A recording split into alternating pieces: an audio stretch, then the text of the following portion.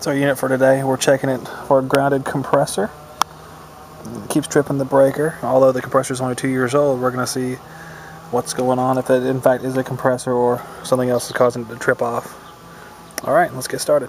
Well, here's the first thing I notice. If you see this, it looks like a uh, 521 or start relay. I think it's either a red sticker on it for the 521. But you have it laying against the cabinet and it looks like they just laid it in there because it didn't fit into the original start capacitor seating. They have it laid in there like idiots. And it's more than likely the reason why this thing grounded out because it's grounding to the cabin. So hopefully that's as simple as this is and we can get on with our lives.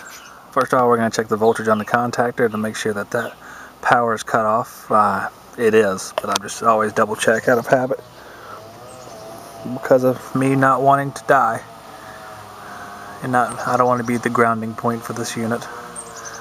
So we're good to go. So now we're going to disconnect that 521 which is what it was because there's the instructions down there. So idiots just didn't put the uh, a new ring or support on it and it comes with a support so I don't I don't understand that. But yeah, you never know. Here's the inside of our 521 looks like. Good look there there's the top of it. Underside of the old relay Looks like that's guts blown out. Good thing they don't have oil in them. And you see the points where it arced over there, where the strap's at. Probably led to this problem. Here's our 521 diagram. See how number 5 going to the black on the contactor. You see how our number 5 down there. Run around going up there to the contactor. The opposite side is the run side. See the run side's red and you see our number one which is going to run. What we have is a dual run so it goes to the common on the run capacitor and we have that. And then our yellow goes to the HERM side of the dual run and that's where we are right there. Alright I'm down here at the compressor terminals and we're going to ohm out the compressor uh, to ground to see if it's grounded causing that breaker to trip. Since it did not uh, did trip again once the uh, 521 was in place so we're going to try that first. A common pin on top, start, and run. We'll see if any of those have continuity to ground. And if any do, they all should.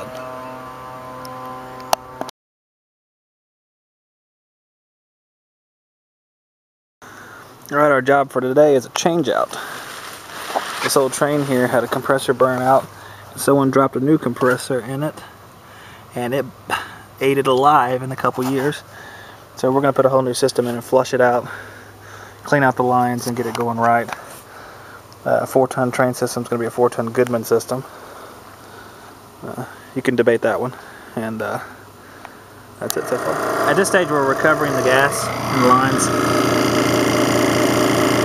See here, there's our tank and our weighing scale let me know when the tank is full.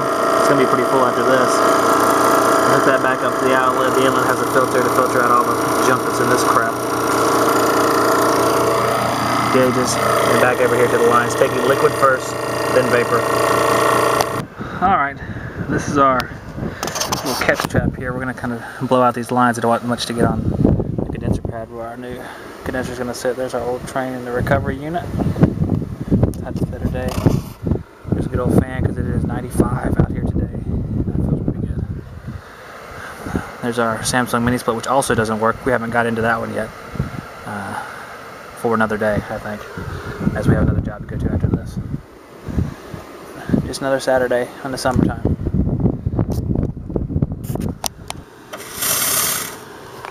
Alright, we got our coming unit here and we looked at the line set, try to make some nice bends there to match it up. We'll insulate that and pressure. Well, pressure check it, then insulate it. Why insulate it if you're going to have a leak and have to repair it? So check it first. A little thermogel there, laid on a little thick. Make sure those service valves don't rupture, add a little dryer. So uh, clean out any remaining particles that are in the line. Hopefully there's none, but can't be too safe. Alright, at this stage we're putting nitrogen on the system and it's been on for a while. We had it set right above 200 pounds, which is looks like that's about where it stayed. It's been about 20 or 30 minutes, so we're about to let that off. We can start pulling a vacuum on the system uh, upstairs. We'll take a look at the air handler in a little bit. I haven't really looked at that much because I've been out here working. Uh, also, I had a hard start on that old Trane. I decided to transfer it over here to the uh, Tan Goodman series here. Uh, it's four tons. It's a powerful compressor. They have engine and an eighth copper coming out of the house. Uh, I figure it'll give it a little bit more life over the long haul. And uh, instead of it trying to pump all this refrigerant from scratch, pulling all those amps time after time, all summer long, every summer. I figured we might give it a few more summers by uh, putting that bad boy on there. So, uh, alright, that's where we're at right now. Next step will be pulling it back. Alright, here's our new Goodman air handler. We have our drain, a flood sensor, insulated. There's a cap. There's nowhere really to go with secondary, unfortunately. There's another flood sensor in there.